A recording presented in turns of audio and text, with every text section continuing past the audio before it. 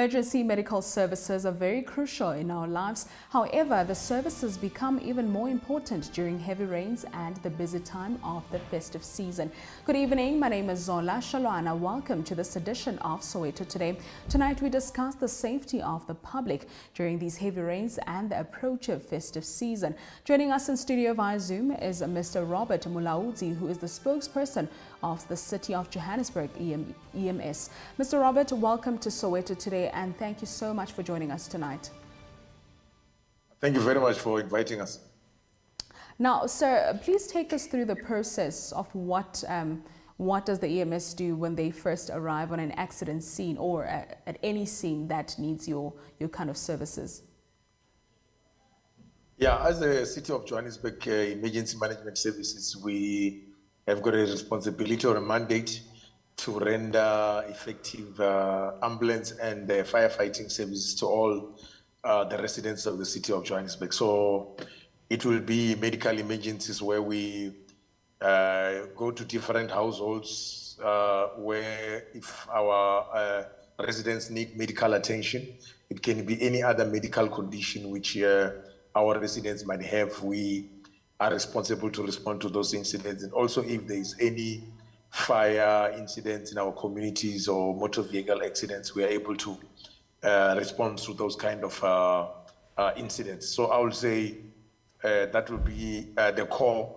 And of course, there is another leg, uh, which is mostly our community empowerment to make sure that our residents are also empowered with the necessary skills to deal with emergencies. That will be uh, the proactive side or the public education side, where we go out to our communities to educate them about um, the importance of uh, adhering to safety precautions as and when uh, you know uh, we have any situations like uh, winter season and also uh, summer seasons when we have a lot of rainfalls and also when we have a lot of fire incidents. Mm -hmm. So uh, we are aware that uh, during these heavy rains, the EMS will be in demand in attending scenes and especially, especially in flooded areas. What tips do you have for people who are at most risk? Yeah, uh, most, most of our residents who are uh, mostly in our uh, uh, informal settlements will be the, the, the hardest hits because most of our informal settlements are in a flood line. So uh, our residents in our in those areas will have to be cautious, make sure that uh, they monitor the water levels in those areas and move to the higher ground. And also uh, from our side, if it was with us, we could uh, uh, try and advise them not to build in those areas because when, as and when we have rainfalls, we normally have flooding in those areas. And also to monitor young kids to stay away from uh, playing next to river streams because most of our informal settlements be it in Soweto and uh, as uh, city of Johannesburg in general, most of our our informal settlements we have got like river streams which is cutting across those areas. Like for instance, if you look at uh, Kliptown informal settlement, there's a Klip Valley river stream which is cutting across. If you look at Alexandra, there's Jacks Jukskei. If you look at um, Ivory Park, there is Fontaine river stream. So those communities already are prone to uh, flash floods when we have uh, severe thunderstorms like the ones we have now, and also, uh, you know, they are prone to drowning incidents because kids are tempted to play, you know, next to these uh, river streams. In the process, they might actually drown. Mm -hmm. So, um, are there any programs that um, currently put in place and ensuring that people are educated, particular communities, on how to handle the patients while waiting for an ambulance to arrive in case of an emergency? Yeah, in the city of Johannesburg, we have adopted a strategy. We call it uh, uh, prevention is the future. Um, so where we're focusing, we're putting more energy on uh, in, empowering our communities, making sure that our residents have got the necessary skills. So uh, that line, we're taking it with the uh, introduction of uh, Safe centers in all the re seven regions of the city of Johannesburg. So Be-Safe centers are centers which are designed to educate our residents about, firstly, life and fire safety educational programs. It can be basic first aid, it can be uh, basic firefighting. We are not training them to be paramedics, but we are training them to have the necessary skills to deal with emergencies. For instance, if there's a need for them to do CPR, they can be able to do that, uh, stop bleeding if somebody's bleeding. If there's a fire, they can be able to use a fire extinguisher or a bucket of water to extinguish that fire. So we're giving them those necessary skills so that they're able to deal with emergencies as and when they occur. So these Be-Safe centers are within our communities. In Soweto, we do have it in Jabulani, the Jabulani Fire Station, and also at the Dube Vocational Center. We've got another Be-Safe centers. And also throughout the city, we've got these centers in all seven regions of the city. Most of them are based at the fire station, like in Ivory Park. We've got it at the fire station in Ivory Park. We've got it in Randburg. We've got it in Berea and almost all the regions in the city of Johannesburg. So our communities are encouraged to visit these centers to be able to be trained for free uh, about any other programs which we uh, we're offering, like uh, basic first aid and uh, um, you know ba- uh, basic firefighting, so mm-hmm. that they can be able to deal with uh, emergencies in their areas as and when they occur. Mm-hmm. So, so, so under normal circumstances, you know, when it's not festive season or when we're not experiencing heavy rains, we usually hear of cases of people saying that, you know, they try to call the ambulance. Sometimes it's not available. Uh, sometimes they'll be told that there's a shortage. Um, there's about maybe four ambulances catering for a specific area. And for that reason, you know, the patient wouldn't be attended to. Um, what are you doing as a department to make sure that you work on that? Because now you'll be hearing cases of people, you know, who are, you know, been involved in accidents and also people that have been involved in floods. What are you doing as a department to make sure that you combat that? Okay. Uh, in the city of Johannesburg, uh, initially we were uh, running the ambulance service uh, under uh, as an agency under the Department of Health, which is Gauteng provincial uh, government. Right now, um, if you, I think you have read or you've seen that the ambulance service is a competency of the Department of Health uh, which is the provincial government. So uh, in all the three big metros in Gauteng, uh, which is uh, Johannesburg, Ekurhuleni, and also uh, Tshwane, the province has already taken over that responsibility of running medical service. Even though from our side we do have ambulances which belongs to the city, but right now we don't have the necessary license to be able to operate since uh, the province have taken over that responsibility. So right now, as the metro, as the three big metros, the only area which we are responsible for is the only the fire service, and the ambulance part will be uh, responsibility of the provincial government, which is uh, uh the Gauteng EMS. Mr. Mulaudzi, I'll have to cut you short there. Obviously, the conversation will continue. Now, the Gauteng EMS on average receives over 47,000 annual calls for November and December, respectively. Most of the calls received during this period are for motor vehicle accidents, assaults, and gunshot wounds. Now, after the ad break, we will continue with the conversation with Mr. Robert Mulaudzi, who is the spokesperson of the City of Johannesburg EMS. So, do stay with us. Welcome back. You are still watching Soweto today. Thank you for choosing to stay with us. If you've just tuned in, we are you are not too late, So gladly so. We are talking about how to keep safe during this festive season, and we are still joined in studio via Zoom by the City of Johannesburg EMS spokesperson, Mr. Robert Mulaudzi. Now, Mr. Robert, last year, um, the Gauteng Emergency Medical Services launched a newly equipped fleet of about 220 ambulances as part of their festive season readiness program. Now, for this year's program, what is going to be different? What are your plans so far?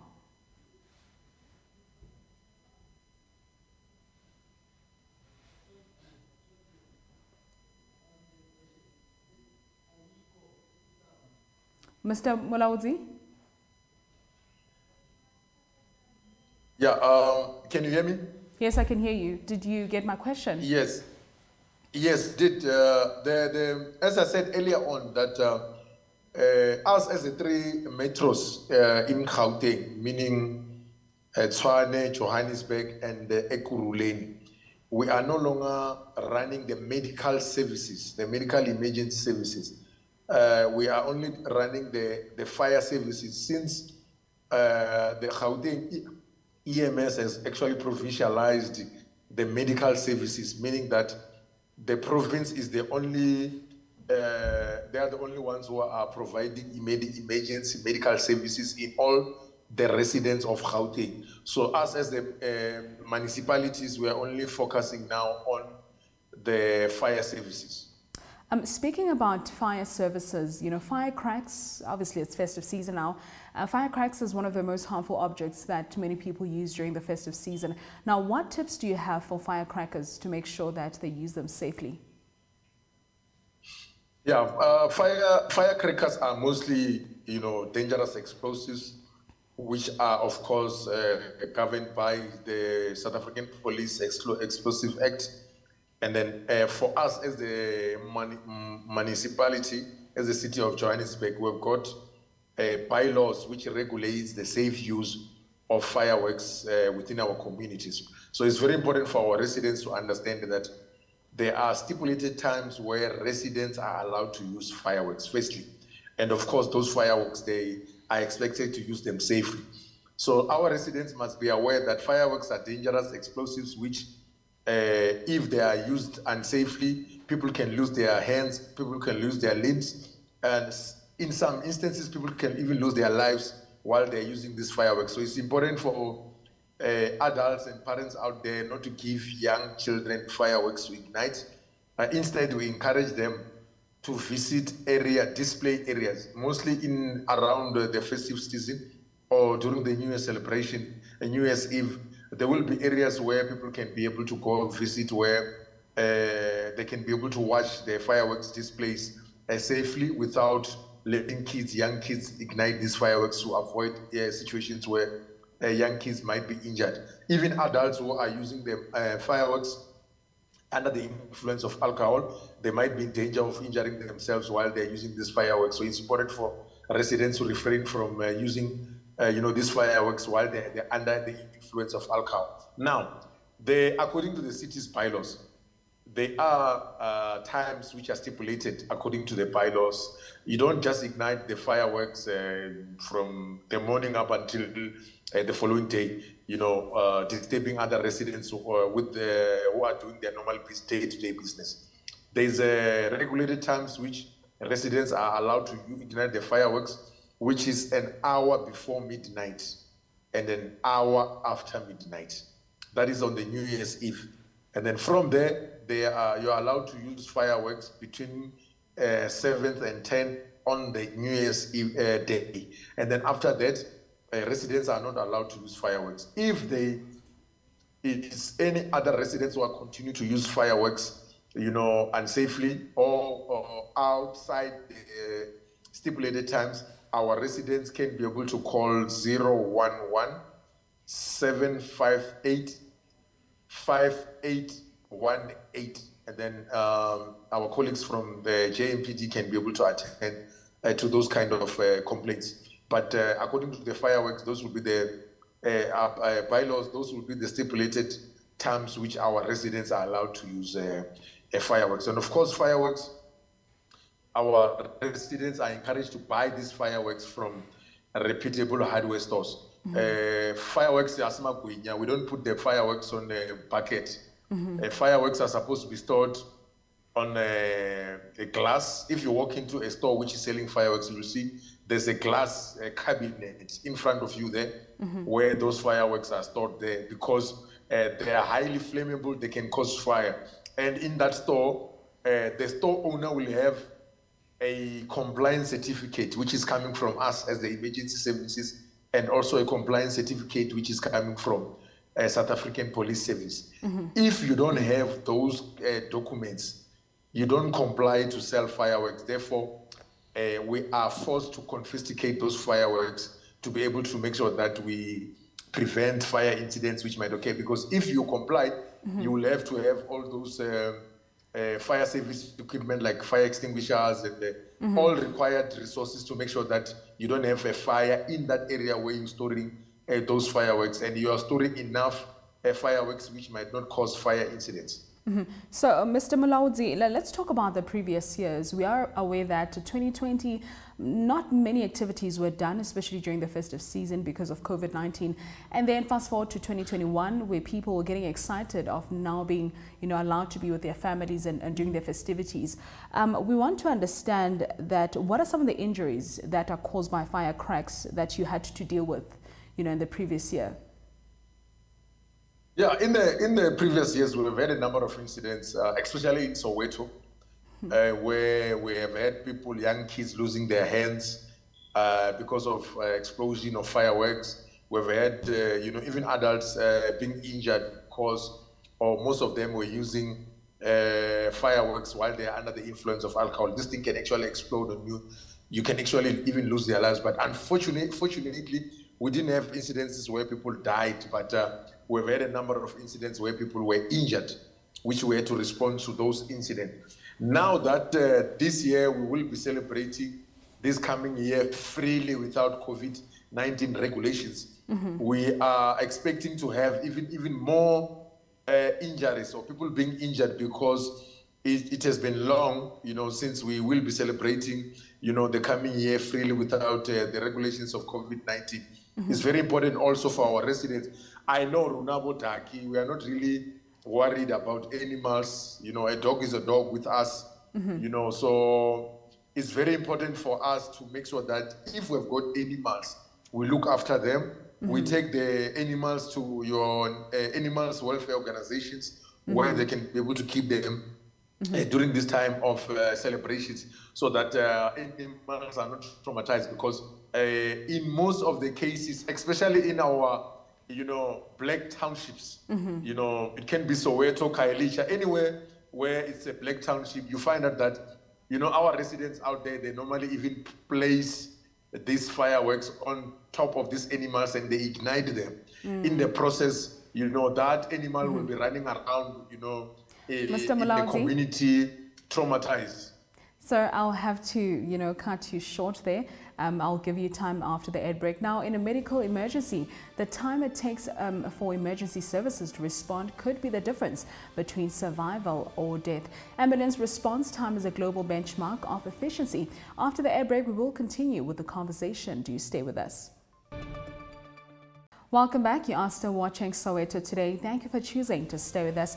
Unfortunately, we are almost at the end of the show and we are still discussing how to keep safe during this festive season. We are still joined in studio via Zoom by the City of Johannesburg EMS, EMS, EMS rather, spokesperson, Mr. Robert Mulaudzi. Now, so there's a question that I wanted to ask you uh, before the ad break, but unfortunately we had to, um, you know, go to an ad break. So to make sure that um, the viewers at home understand the word emergency, because some people really do not understand what emergency actually means. Um, in what situation can one be able to pick up their phone and say, this is an emergency, I need to call the EMS now? Okay, in uh, there will be two emergencies. One, it might be a, a situation where there's a fire at home, uh, the house is on fire, or a vehicle or any other item is on fire at home. Uh, the residents are, can be able to call the emergency services.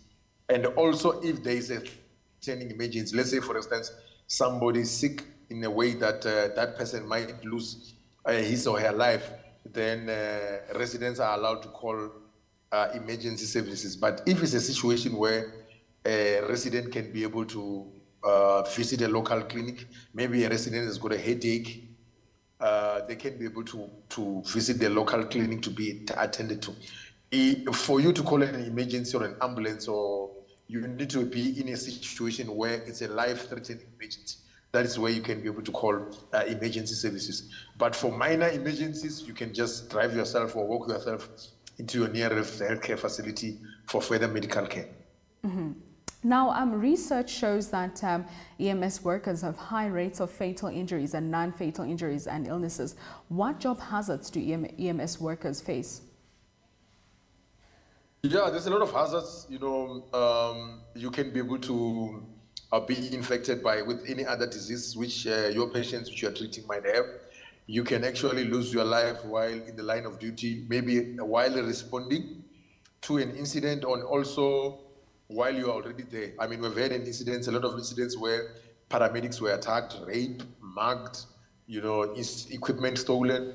So those will be uh, some of the dangers which uh, emergency services face on a day-to-day basis and also attacks on a day-to-day basis because lately um, uh, residents are attacking paramedics on a day-to-day basis, uh, taking the equipment which they are using and also uh, you know, robbing them uh, their belongings, which might they might have at the time. Mm-hmm. So uh, tell us about this, um, um, the health and other services personnel trade unions of South Africa that are working to prevent EMS injuries. What are they doing to ensure that you know you guys are safe when you are on duty? Oh, I, will be able to you know explain in terms of the other organizations, which uh, especially labor.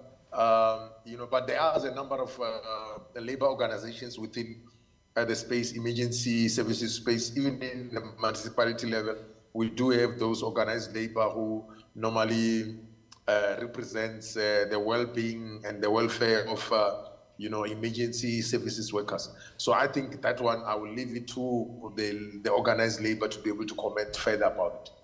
Mm -hmm. So now during the EMS training sessions that you usually have, what are some of the safety tips do you give to your workers?